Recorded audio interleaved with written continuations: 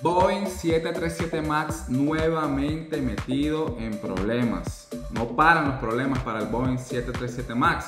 Y es que como ya sabes, el avión de Alaska Airlines que realizaba el vuelo desde Portland hacia Ontario, luego de despegar 10 minutos después, se desprendió una de sus puertas de emergencia, lo que ocasionó que el avión retornara de emergencia hacia el aeropuerto de Portland. Los pasajeros se asustaron, la tripulación supo llevar la emergencia, aterrizó y todos están sanos y salvos, pero la FAA actualmente se encuentra investigando las causas de este incidente y puso en a todos los aviones de este modelo. Es decir, ninguna aerolínea que tenga este modelo de avión puede volarlo, puede utilizarlo hasta que no se investigue y se esclarezca las causas del por qué esta puerta de emergencia se despegó. En este video te voy a contar no los detalles del incidente como tal o del accidente como tal, sino que te voy a comentar las últimas novedades, las últimas noticias que se sabe de ello y cómo va más o menos la investigación. Ahora, ¿cuál será el destino del Boeing 737 MAX? Pues bueno, no lo sabemos, pero en este video te vamos a comentar lo último que sabemos al respecto. Una de las cosas que se supo después que se inició la investigación es que este avión, este avión en específico, Alaska Airlines lo había sacado de la ruta hacia Hawái en sus vuelos frecuentes, en su plan de vuelo, lo había sacado de la ruta hacia Hawái porque el avión ya había presentado previamente alarmas y alertas en la cabina por presurización. Escuchen esto, por presurización Alaska Airlines ya no mandaba este vuelo hasta Hawái. Ahora, si Alaska sabía o los pilotos conocían, según, según iban volando, la bitácora de vuelo y todas estas cosas, si ya sabían que el avión presentaba problemas de presurización, ¿por qué el avión seguía en línea de vuelo? Es decir, no tiene sentido que el avión se le prohíba volar hacia Hawái, que como saben tiene que volar a través del Océano Pacífico para llegar a la isla, es prácticamente lo mismo que vuele sobre territorio firme, porque el avión está en el aire y, representa un peligro para los pasajeros. Entonces, Alaska Airlines sabía que el avión tenía problemas de presurización, había levantado ciertas alertas o alarmas en la cabina que los pilotos habían reportado a los jefes de mantenimiento y el avión continuaba en línea de vuelo. Esto es algo que prácticamente el avión puede volar, sí, pero, o sea, tienes problemas de presurización. ¿Cómo tú sigues manteniendo un avión en vuelo con este tipo de problemas y no los reportado? Parece que solamente estaban pensando en dinero, quizás, quién sabe. Antes de continuar, si te está gustando este video, por favor apóyame con un like y suscríbete para más contenido.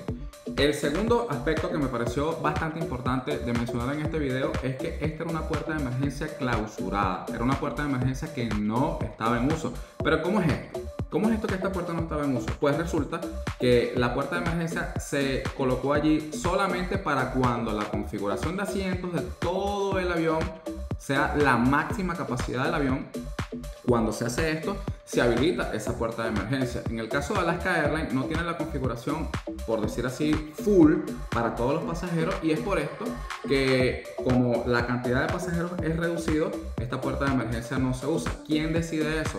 Eso lo decide la FAA. ¿Por qué lo decide la FAA? Porque la FAA exige que el avión sea capaz de evacuar a todos sus pasajeros, o es decir, la tripulación sea capaz de evacuar a todos sus pasajeros en 90 segundos o menos. ¿Cómo hacen esto? Bueno, con organización y con todas las puertas de emergencia que tenemos hacia los laterales. En el caso de este Boeing, como no estaba la configuración de asientos hacia su máxima capacidad, no era necesario que esta puerta estuviera en uso. Es por eso que esta puerta solamente estaba, la hace el fabricante, la ponen allí, pero la clausuran. Es decir, la puerta no estaba en uso como una puerta de emergencia. Pero ¿qué hace esta puerta de emergencia tan especial y por qué es tan renombrada solamente en los Boeing 737 MAX? Porque seguro tú te preguntarás, bueno, pero ¿por qué pusieron en tierra solamente el Boeing 737 MAX y no todos los modelos de Boeing 737? Pues resulta que el Boeing 737 MAX es la última versión del Boeing 737. Es decir, es una versión con unos motores más grandes, más potentes y por supuesto el avión es un poco más, más largo, más grande para poder llevar poder abarcar más pasajeros. Es por esto que a medida que lleva más pasajeros, el avión requerirá más factores de seguridad, incluyendo puertas de emergencia adicionales. Esta puerta estaba cercana, muy cerca a la puerta trasera del avión del lado izquierdo. Es decir, esta puerta es una puerta adicional que solamente traen los Boeing 737 MAX y por eso solamente se pusieron en tierra los Boeing 737 MAX. Es decir, no vale la pena poner en tierra un modelo anterior que ya tiene 20 años volando, por así decirlo, que no tiene esa puerta, esa puerta de emergencia que en el caso de Alaska, como te mencioné anteriormente, no estaba en uso, era una puerta clausurada. Pero la historia no termina allí y es que resulta que United Airlines, United Airlines, después que sus aviones estaban en tierra, mandó a su personal técnico a inspeccionar o a revisar todos estos aviones y a que no adivina qué encontraron estos técnicos y estos especialistas en mantenimiento de estos aviones. Pues encontraron que la puerta, las puertas, las famosas puertas de estos modelos estaban clausuradas, pero tenían pernos o tornillos flojos. En cinco de sus modelos de aviones Boeing 737 MAX, United Airlines consiguió que los pernos estaban flojos. Ahora, la FAA se encuentra actualmente investigando si estos pernos posiblemente se aflojaron con cantidad de ciclos o vuelos, es decir, después que el avión fue entregado, o si es un defecto de fabricación y de diseño del avión. Entonces, ya están empezando a surgir las pistas de por qué está pasando esto.